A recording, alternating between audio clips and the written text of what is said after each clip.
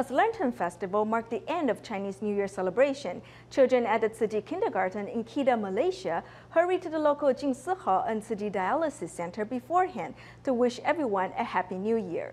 They even donated some of the monetary gifts they received for the Chinese New Year to the Tzu Education Fund.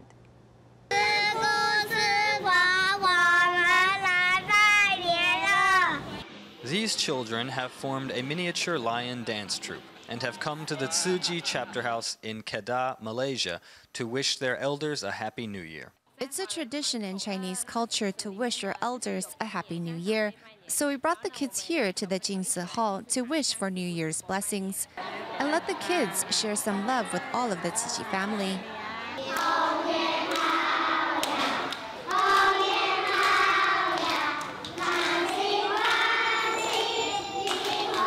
Everyone watches happily as the cute children sing their New Year's song.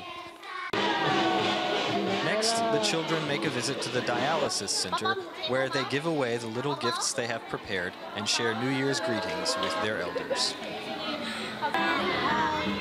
I'm happy today because I got a car that says everything looks beautiful if you have a beautiful heart.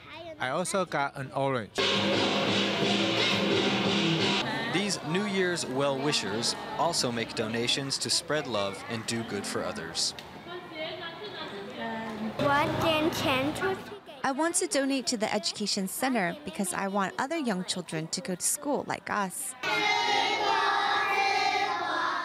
These Tzu Chi volunteers also pass out red envelopes of wisdom and blessings to the children on behalf of Master Cheng Yen to spread even more love and warmth in the new year.